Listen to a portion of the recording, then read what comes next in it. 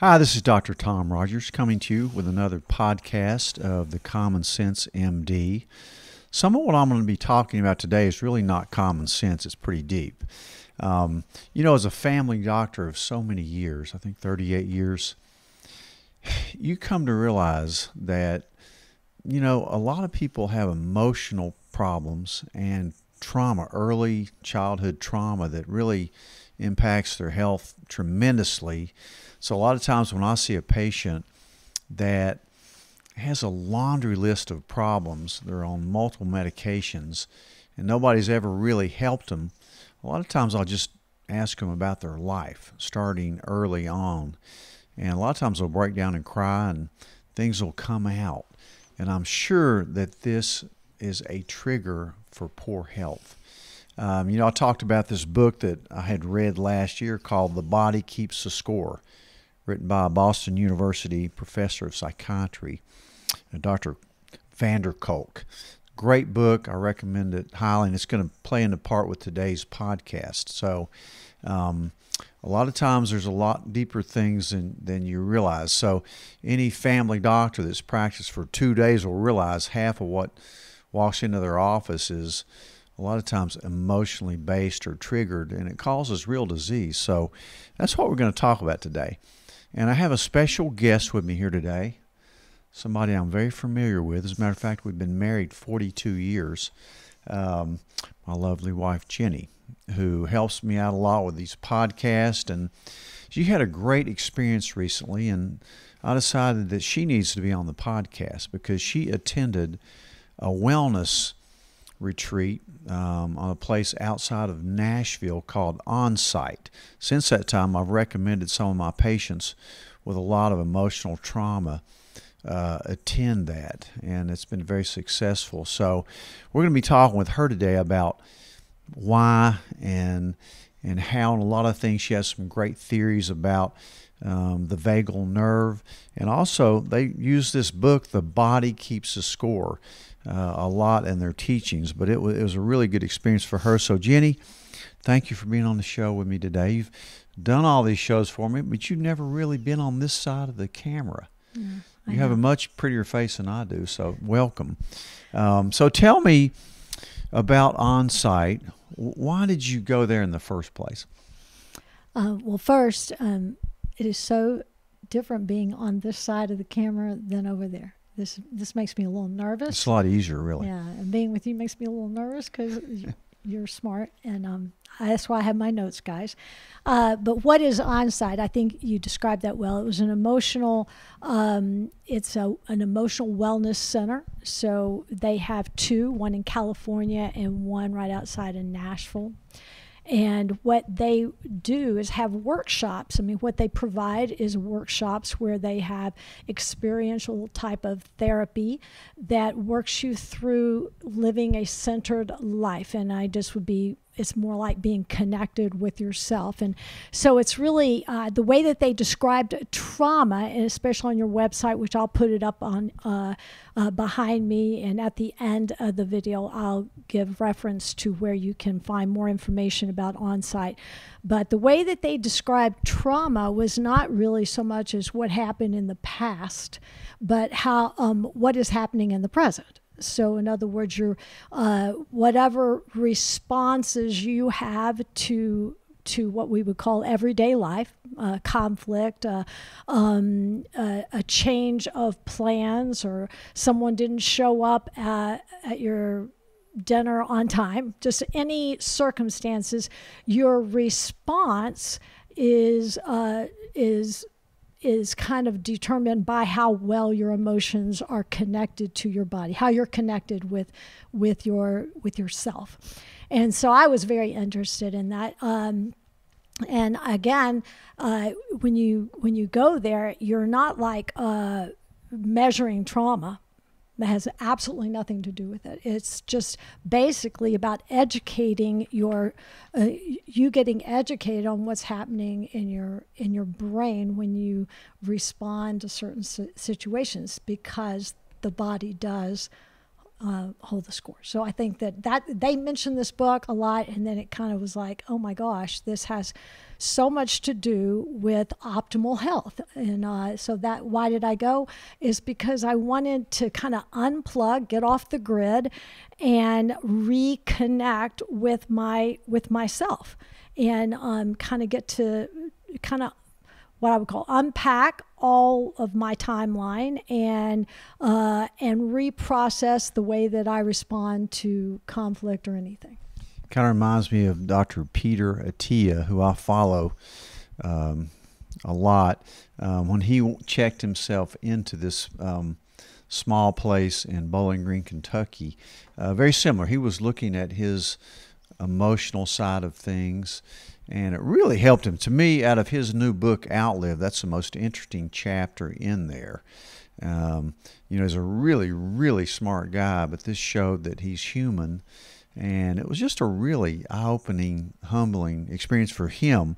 And certainly I enjoyed reading it. So, Onsite is not just for people that have had some tremendous right, trauma in their lives, it's also um, a place where you can really learn to deal with people because in most trauma, ongoing trauma, dealing a lot with people.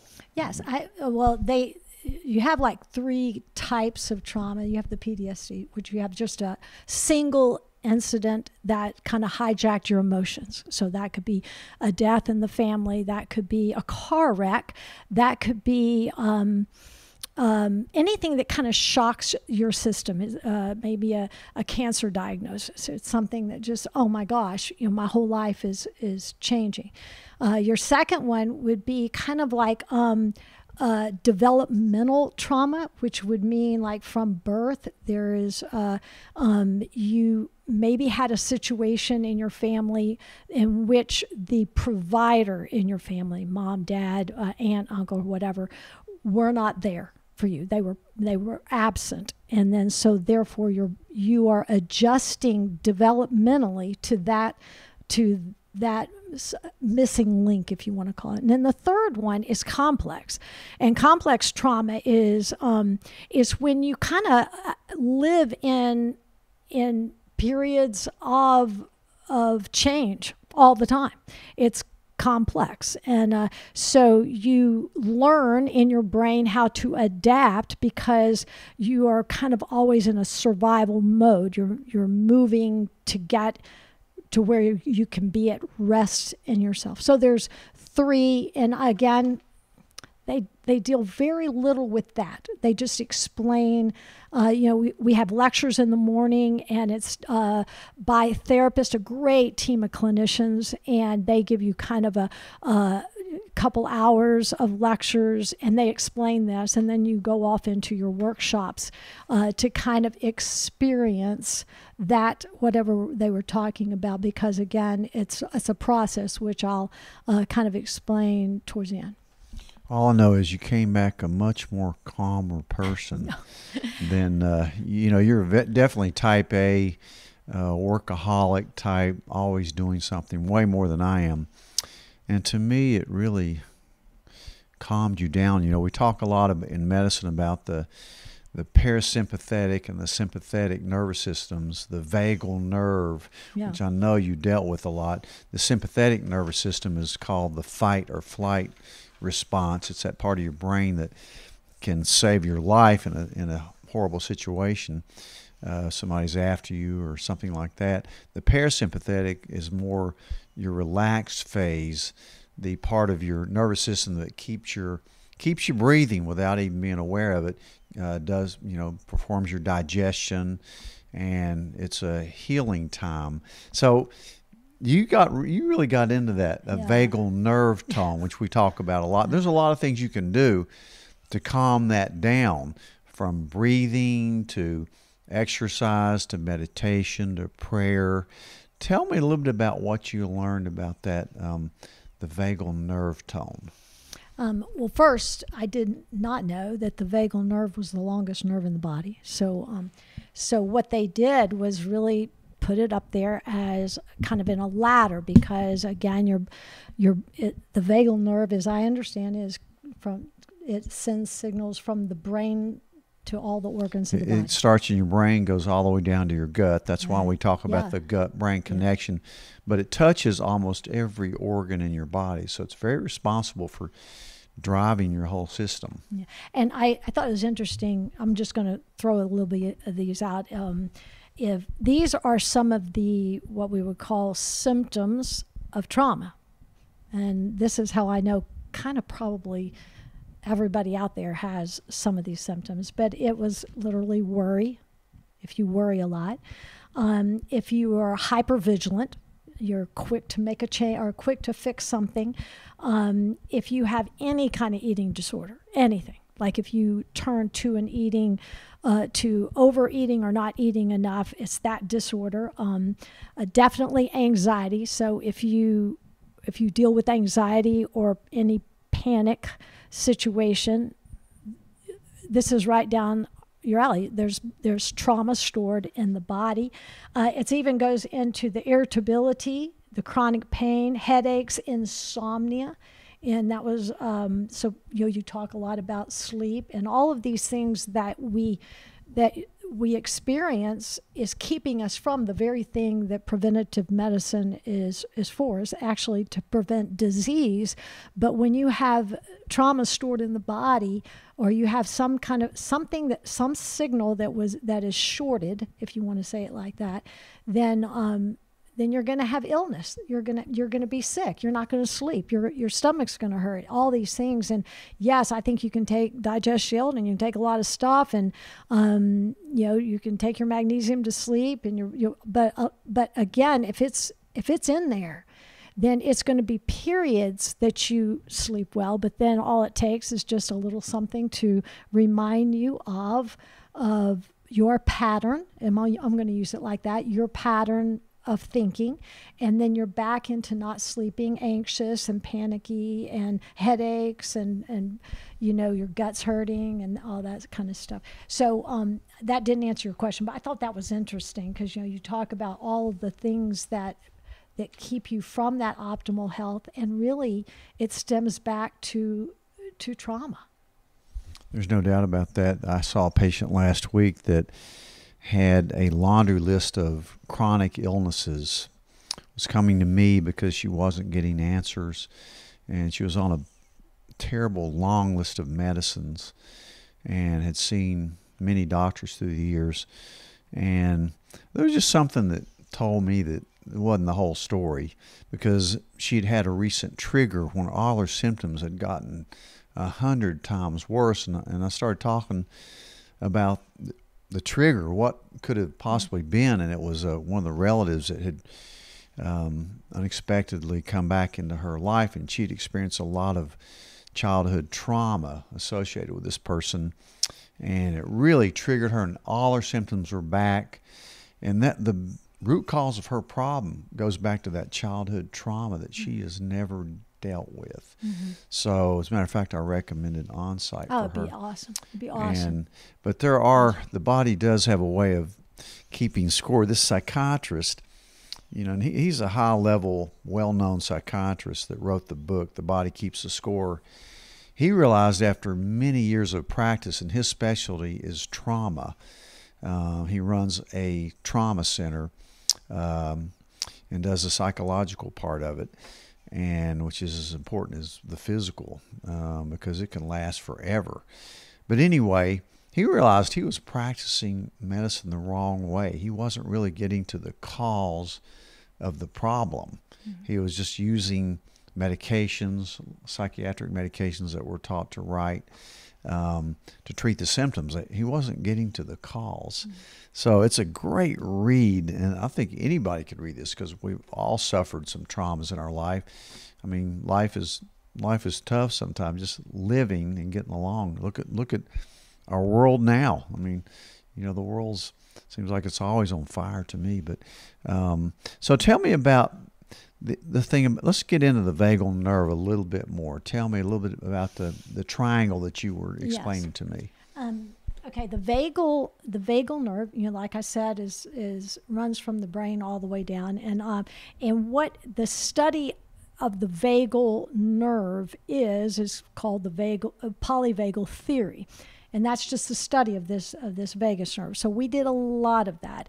Um, and its role in a emotions and regulating those emotions, your social connection with other people, and your fear response. So, that vagal nerve, that study called the polyvagal nerve, is addressing those three things being able to control your emotions. So, if you struggle with controlling your emotions, then again, we have something that's that's that's um, shorted out in that in that signal from the brain.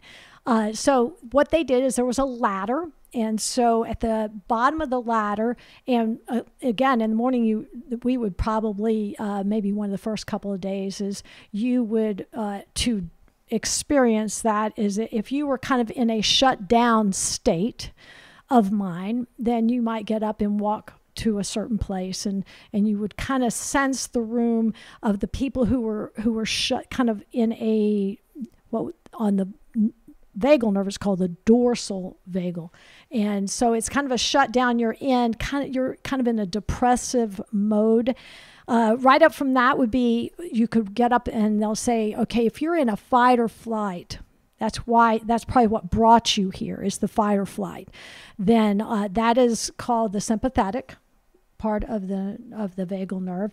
And that sympathetic is really a protection mode. So that means that you're in you're you're driven to protect yourself or those people that you love. You're kind of on high alert, right? Yeah, uh, hyper vigilant all the time. So okay. then it was kind of interesting how the room started to divide as those who who were really, you know, they were shut down. They weren't even in the fight or flight anymore.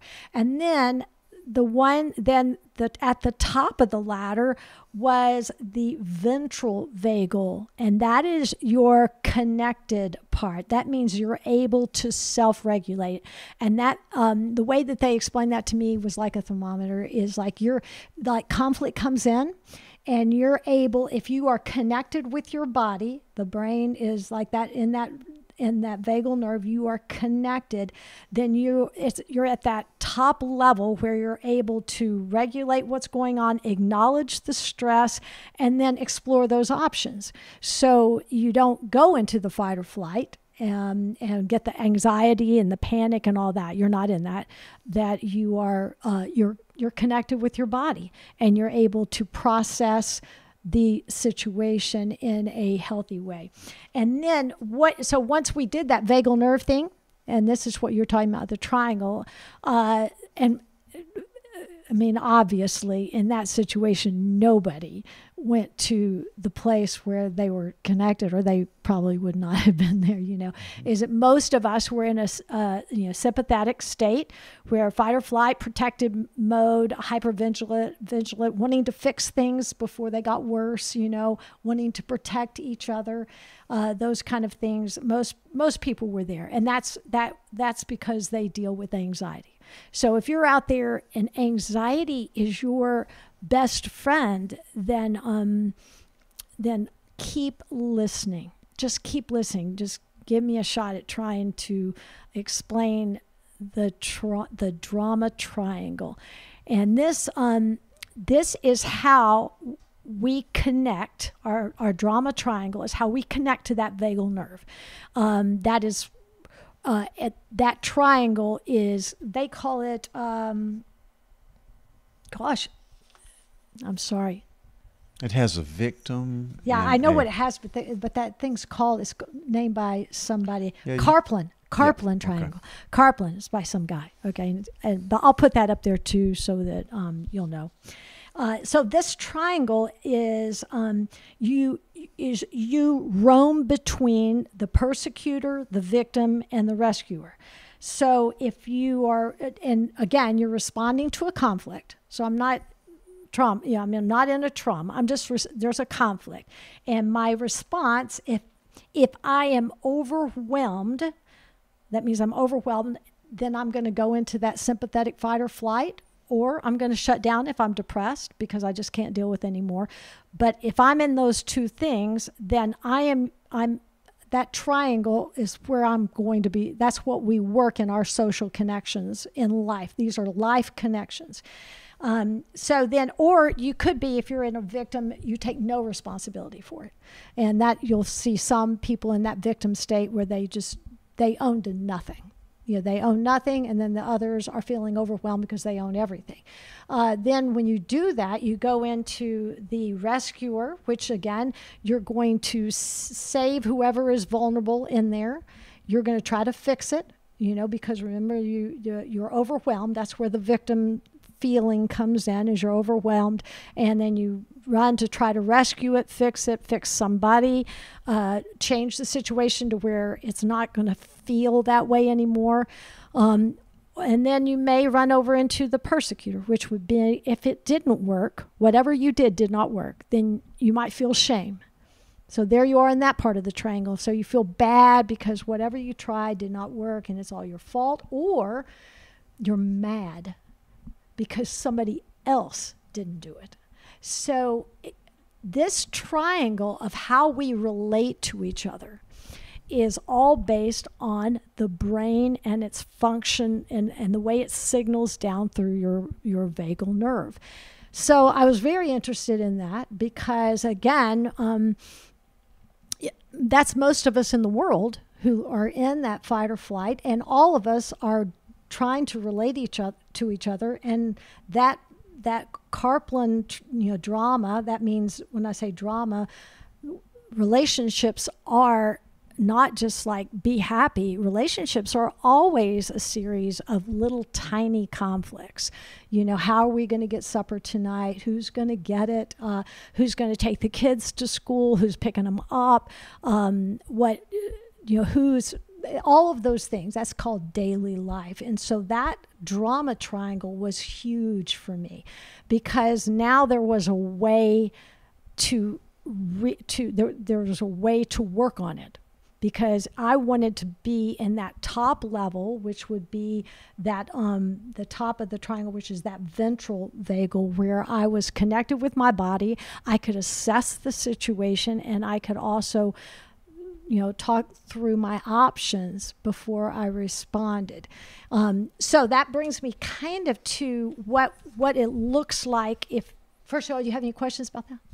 No, it makes sense to me. I mean, we're all kind of victims of circumstance, right. and we yes. all have a perpetrator yes. because we have to deal with people. Yes. And we all have a rescuer yes. that we may go to. But I see that a lot with people, especially women. They try to save somebody you know, they get into four or five marriages where they think they can fix this person and they really right. can't. So the you, interesting thing is we had people with spiritual trauma there because Oh, when yeah. they went to the triangle, the Karpman triangle, and they went to the rescuer side, it was always to the church. And then the you know, then they would try to you know throw a verse on it or you know a Bible verse on it or they would um, or they would isolate themselves in the church to get away from the the the trauma. So it when it doesn't work, then you really are losing that spirit of in you that is the spirit of hope because that is where that comes from. I mean, we this was like a science and spirituality married together. It was like the body truly is a miracle. And that spirit is what your, your spirit, that the soul, the spirit, the the the the what lifts you up, and um, that triggers the brain, and the then the brain comes down. So that that was an interesting for me is to find out all the people that really had trauma going to the side of rescuing with the church. You know, um, we all have had trauma, and the body has a, an amazing way of healing itself if you give it time.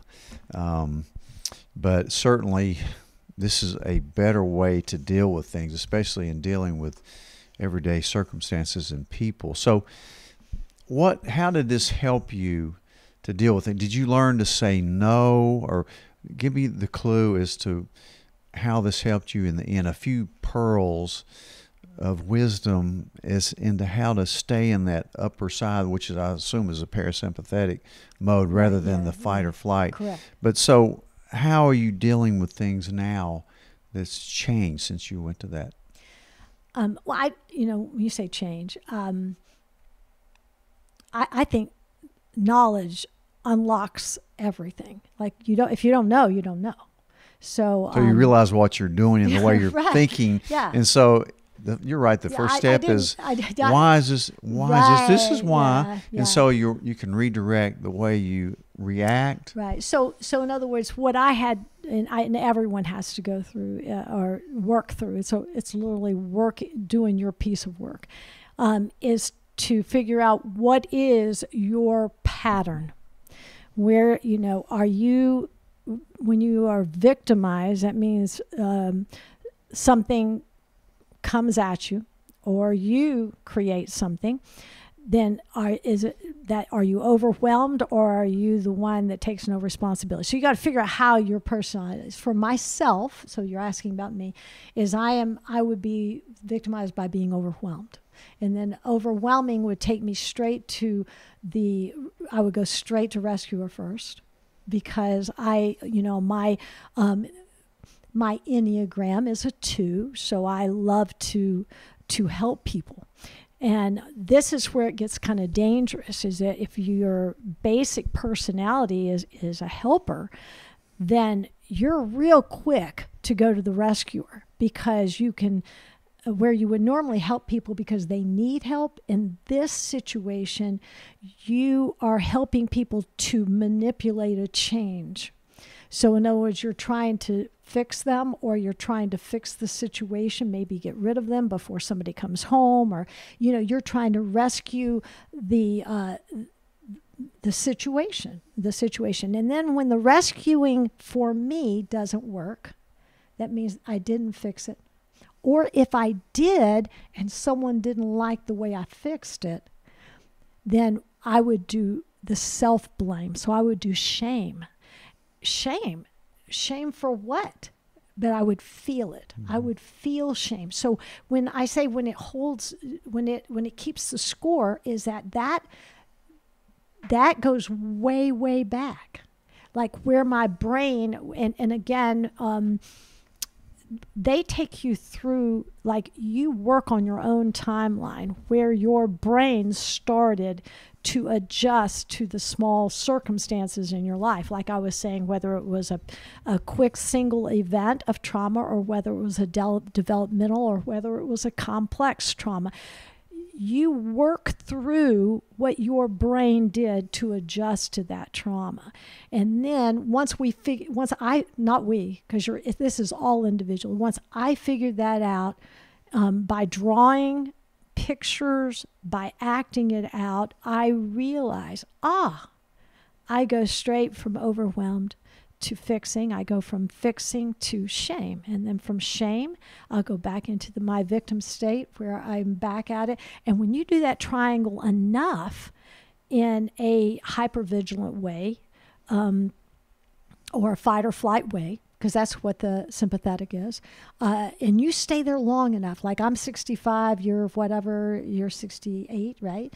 You know, when you do that years and years and years, then you get tired and then you come see uh, you come see tom because that's why you see so many tired people is they're going in that triangle and they are just tired of going It's from just a vicious victim, circle. yeah victim to persecutor whatever So, what have you? You told me you've learned to at times say, "That's not my problem." Yeah. So what I do is I, I reinvented the answers. So in other words, when I when a situation is coming at me now, um, instead of being overwhelmed, then I I know the first thing I should think is acknowledge that it is a situation. Acknowledge it's bad. We're not responding to it. We're acknowledging the fact that this is not a good thing. And then from there, rather than to automatically go to my rescuer, I say, Is this mine to fix? Is this my problem? Because I've acknowledged it in, in the victim, rather being overwhelmed by it, like everything's my problem, when not everything is my problem. I'm not overwhelmed. I simply acknowledge it. And then when I, before I do anything, I ask myself, Is this mine to do? Is anyone asking me to do anything, or am I just doing it because I, because again, I'm in the rescue, I'm in the fight or flight mode, and I don't want to be there. I want to be in that that ventral uh, vagal state. That what do you call it? Parasympathetic. Parasympathetic. That's where I want to be.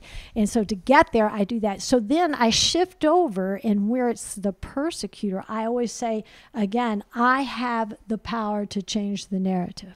I have the power. So in other words the way I think about that situation in that victim thing, that means something happened or I created something that happened. Um, I have the power to change the outcome. I have the power to decide how I want to think about that. And then from there, I'm, I'm home free because now I'm in that those options and I can make choices. Then that becomes to um, to kind of the takeaways is that you are your own agent. And that was so powerful for me. Is like I've always let other people be my agent because I wanted a to make sure that everyone is happy. Why? Because I'm in the fight or flight. Why? Because somewhere in my whole raise you know uh, growing up is i learned how to adapt and make changes and that signal that i must do it Right. so i know it's like i've got to do it Right.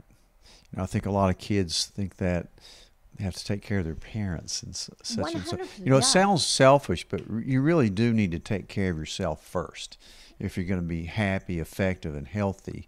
Kind of like putting your own, you know, when the they tell you on the airplane when the gas, the oxygen mask drop down, put yours on first, and then help, you know, the one beside you. But um, and another So- way of saying that is like instead of taking care of it's be connected to yourself be connected to yourself. I love that. I, I'm Yeah. glad you went Yeah. to this. well I, conference. can i end with my little three takeaways Okay, three Yeah, takeaways. Because um, uh, you know, besides you, you kind of know how I use the triangle now. Um, and again, for every single person, that's different depending on their personality and depending on their trauma, whether or not it was the PTSD or whether it was developmental or whether it was complex.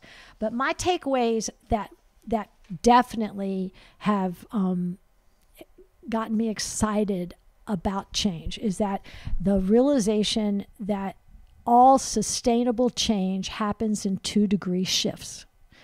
And um, I, again, I don't know if they came up with that, but that two degree shift, I immediately went to the little store and bought me the mug that said two degree shift because I wanted to remind myself is that if I want this to be a sustainable change in my life and learn to live connected with my body, to again release the score release that i mean release what happened whatever where, wherever you were on your timeline in which you adjusted the, and became unhealthy all always remembers when you when is it that what you were doing became unhealthy that means you had symptoms like uh, eating disorders or headaches or panic well then once you get rid of that then the key is to keep in that ventral uh, that ventral vagal. So there's two two degree shifts, and then the second one was that healing is a practice, and I loved that. So in other words, it's not like it's done. Like it, it's not like you're healed. You have to do this every day, like practicing guitar. If you don't play it every day, you're not going to be good at it. Yeah. So you're saying the two degree shifts means that you don't you're not going to change all at once. Two degrees means two degrees at a time. Is that what you're Well, saying? Because I went up to the guy and asked him because I was like I was thinking two degree was like to the right, and we went around to the three That's what I would think. Okay, and it's not. It's an expansion. Uh, like you expand. So maybe so- it's exponential. So in other words, Two degrees if- becomes four degrees. right becomes- right okay. because see if you win it he said if you go in uh, kind of what the, you know you go to the right and you go like this then then you then if let's just say something you did you you kind of fell back into your your that again that Karpman triangle of being fight or flight in the sympathetic uh, state you would you would automatically think you were going back to the beginning And- So and it's I like way. that. It's So it, it has a limit if you go around that way, but if you're expanding Correct. exponentially. Yeah, so you never- you never- okay, so you got the two degree shift. You have the practice. healing is a daily practice. Yeah. And what's the third the one? third one is my favorite, which is trust trust the process. In other words, um, you have to believe. You have to believe that the, that the brain can reconnect that it can that it can be that it can change that, that you have that you can change the narrative that you can change that that you can you can reprogram it. And if you don't trust that process um, of of healing then again you're back to square you know, you have to believe it Right. and i think you've told your patients that You is have that to if you do it. not believe you're going to get better you're not going to get better It's called having a positive attitude that goes a long way with, uh, and you can almost tell who has a positive attitude when you talk to a person and somebody who's negative. So I try to stay away from negative people uh, because you're not going to really change them too much. So you need to be positive yourself and you do need to trust the process. Just like if you practice something, you're going to get better at it. Take, for example, me on my guitar. I'm not that, I'm not a really good musician, but I've really gotten a lot better just by practicing it. And, and he's gotten a lot better because he played for my family for Christmas the first time in Blackbird. front. He played Blackbird, and um, I was I've never been that proud. yeah, yeah. Well, thank you. And this has been so interesting. I'm glad you got to do this. It was it was great for her. There were no telephones, no televisions, and you know we didn't talk for a whole week. That's the first time in 42 years, Mm, or maybe long- longer than that. But longer. So the body keeps the score. Um, Onsite is the, the place, the wellness center that she went to. So read about it and um, keep the stuff in mind because it's really as important as anything I'll ever talk about is your emotional healing and dealing with big traumas and little traumas. Um, so Thank you, Jenny, for doing this. Uh, let's go get something to eat.